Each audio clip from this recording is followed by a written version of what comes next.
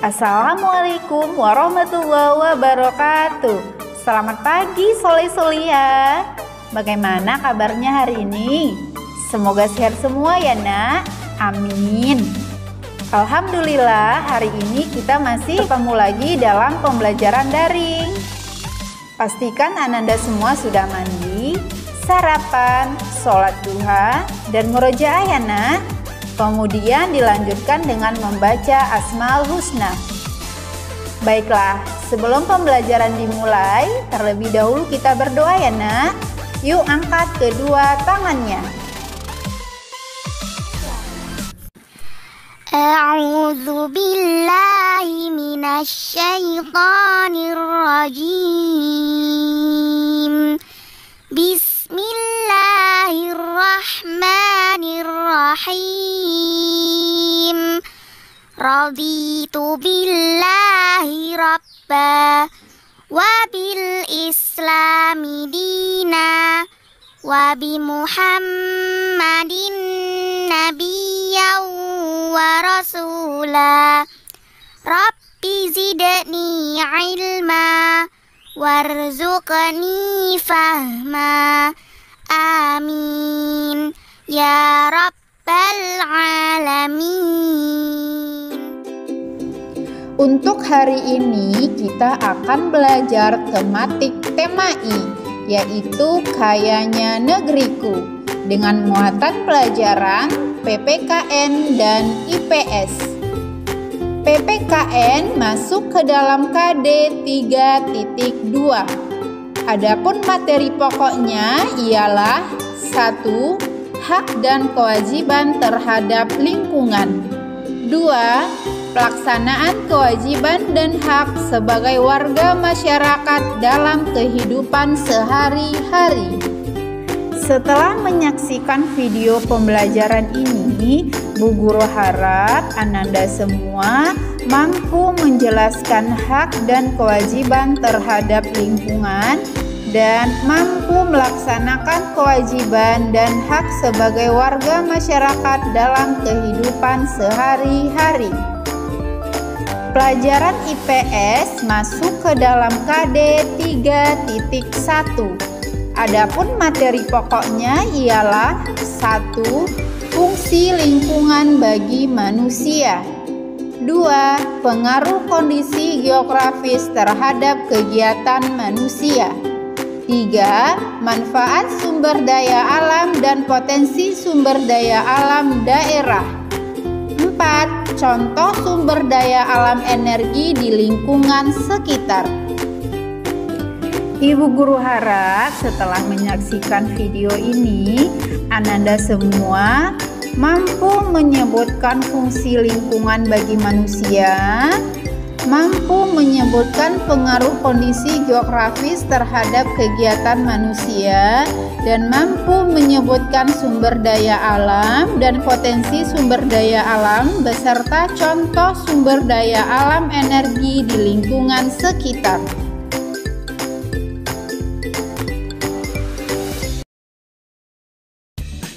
Pelajaran PPKN menjelaskan hak dan kewajiban terhadap lingkungan.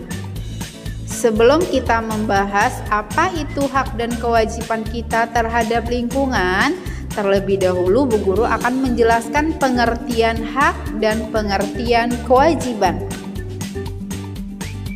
Hak adalah sesuatu yang diterima atau yang diperoleh setiap orang.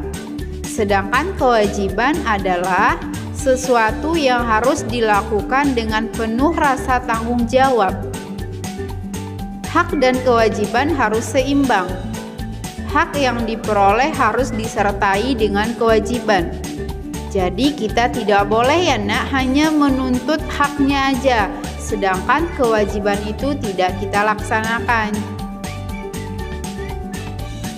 Sekarang coba Ananda buka buku tematik tema innya halaman 9 sampai 10.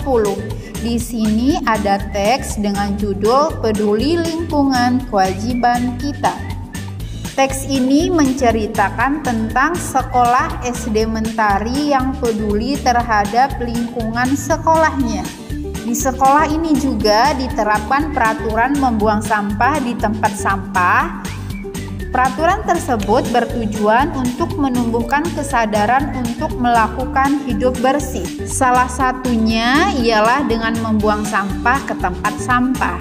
Dengan diterapkannya aturan tersebut, siswa yang tadinya tidak tahu dan bahkan membuang sampah sembarangan sedikit demi sedikit akan terbiasa dan dapat menerapkan kebiasaan tersebut dalam kehidupan sehari-hari.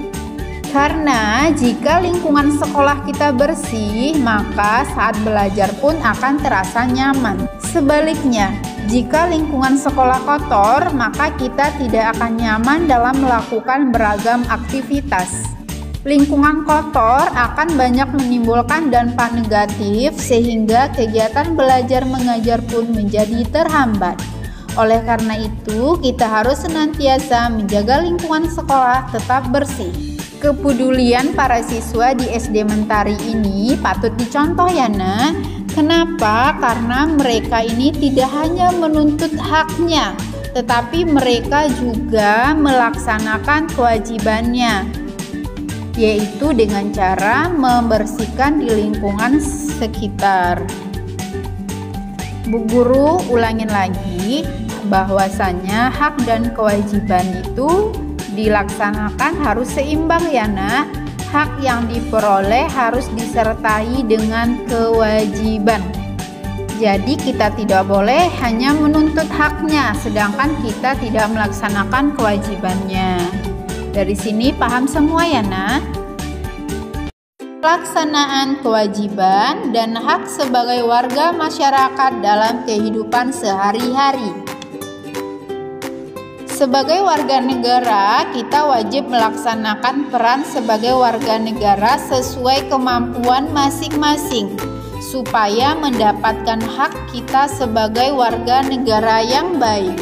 Adapun hak kita sebagai warga negara ialah satu, berhak mendapat perlindungan hukum, dua, berhak memperoleh pendidikan dan pengajaran, tiga, berhak mendapat kedudukan yang sama di mata hukum.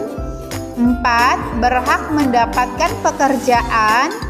5. Berhak untuk mengeluarkan pendapat. 6. Berhak untuk memilih dan memeluk agama yang dipercayai. Lalu, bagaimana dengan kewajiban kita sebagai warga negara? Ada yang sudah tahu? Ya, adapun kewajiban kita sebagai warga negara ialah satu, wajib turut serta dalam pembangunan, dua, wajib membela negara, tiga, wajib menaati hukum, empat, wajib membayar pajak, lima, wajib menghormati hak asasi manusia, 6. Wajib tunduk kepada peraturan yang ditetapkan undang-undang. Indonesia adalah negara yang memiliki kekayaan alam yang melimpah. Tidak hanya di daratan, lautan, di perut bumi Indonesia pun tersimpan kekayaan yang melimpah berupa bahan tambang seperti minyak bumi, emas, gas alam, besi, batu bara, dan tembaga. Tugas kita sebagai warga negara adalah memanfaatkan sumber daya alam dengan bijak agar dapat terus dimanfaatkan oleh generasi selanjutnya. Adapun hak dan kewajiban warga negara dalam mengelola sumber daya alam tersebut ialah hak sebagai warga negara, hak untuk memanfaatkan sumber daya alam, hak untuk memakai sumber daya alam, hak untuk menikmati sumber daya alam. Adapun kewajiban sebagai warga negara ialah kewajiban untuk menjaga sumber daya alam, kewajiban untuk memperbarui sumber daya alam, kewajiban untuk melestarikan sumber daya alam. Bagaimana Soli-Soliha? Sudah paham dengan pelajaran PPKN? Kalau sudah, sekarang kita lanjut pelajaran kedua ya nak, yaitu pelajaran IPS. keadaan lingkungan sekitar. Lingkungan dan manusia memang tidak dapat terpisahkan. Segala sesuatunya telah tersedia di lingkungan. Tugas manusia untuk memanfaatkan lingkungan dengan bijak.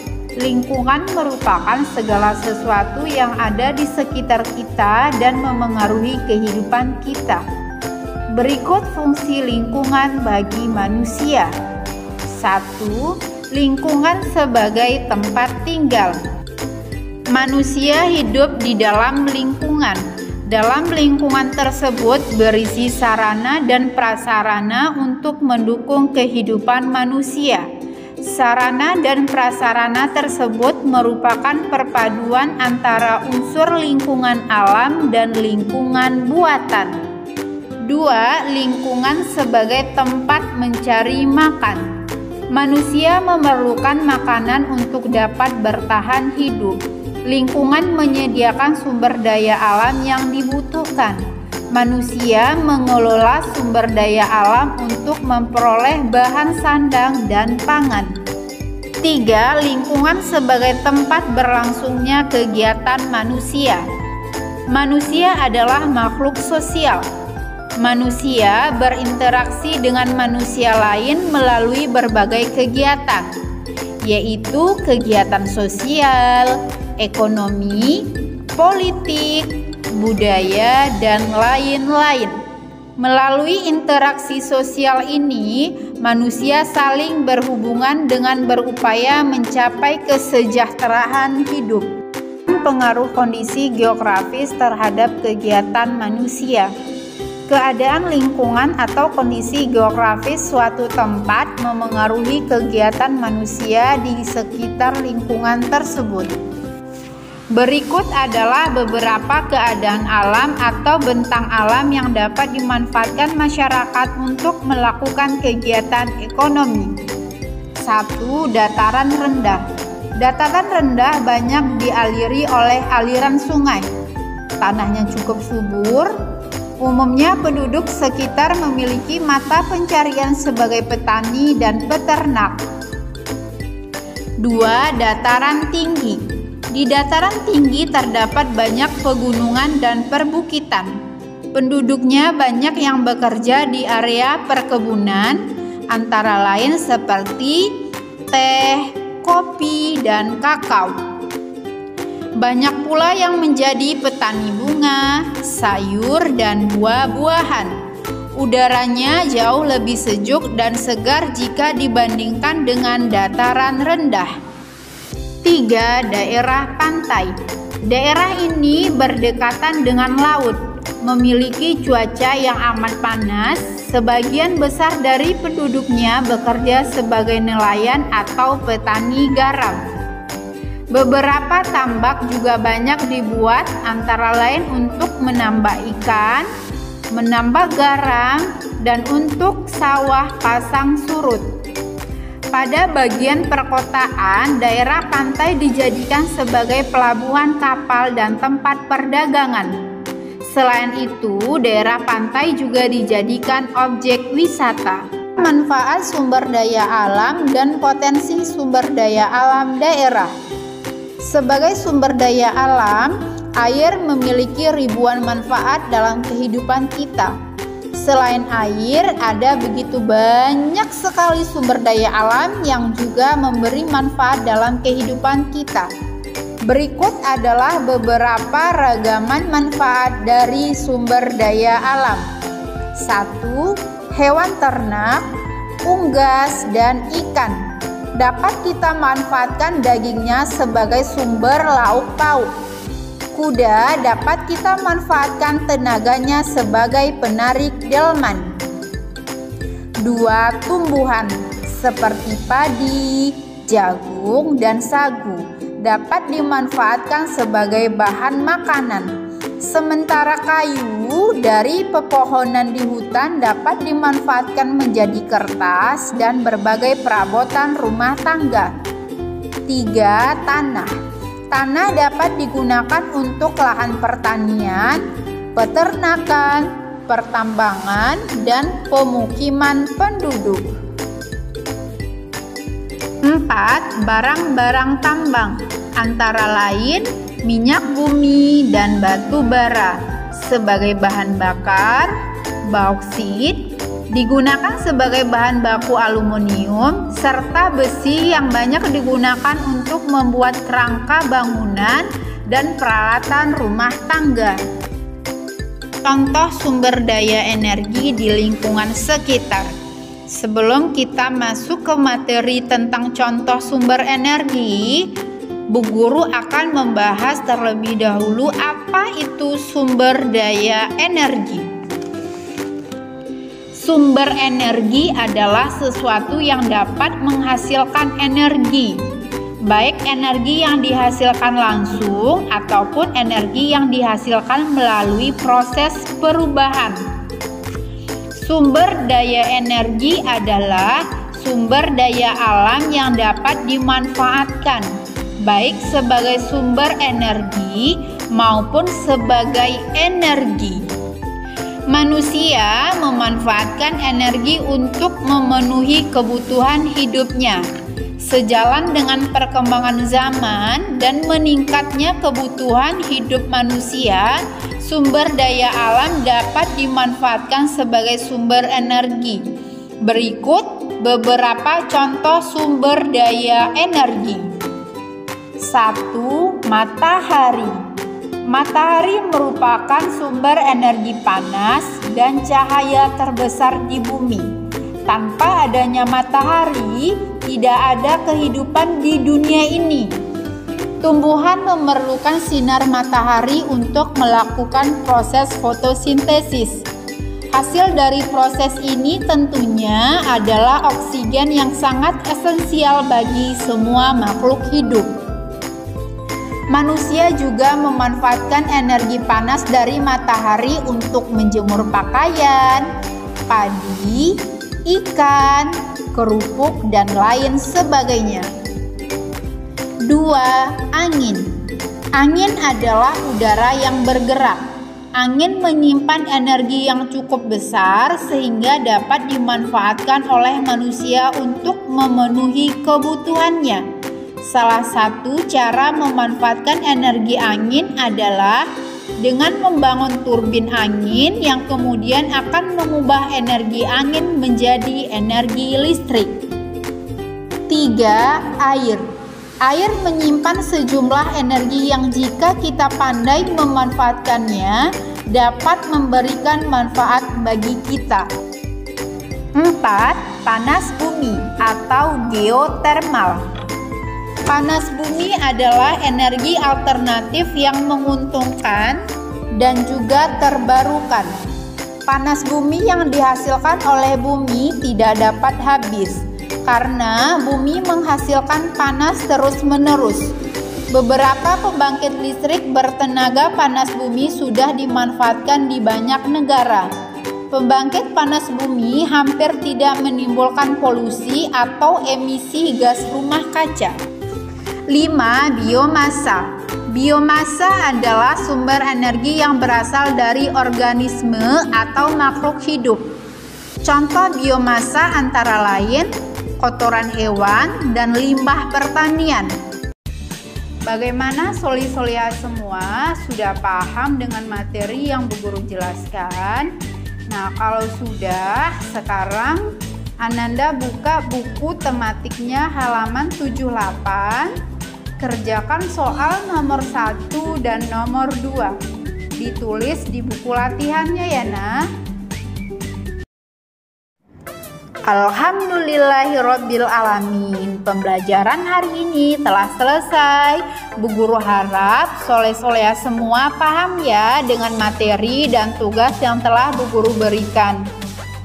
Bu Guru mengingatkan untuk tugasnya dikumpul paling lambat pukul 17.00 ya nak di foto kemudian kirim ke WA Bu Guru dan sholat lima waktunya tetap dijaga ya nak mengaji, murojaah dan membantu kedua orang tuanya.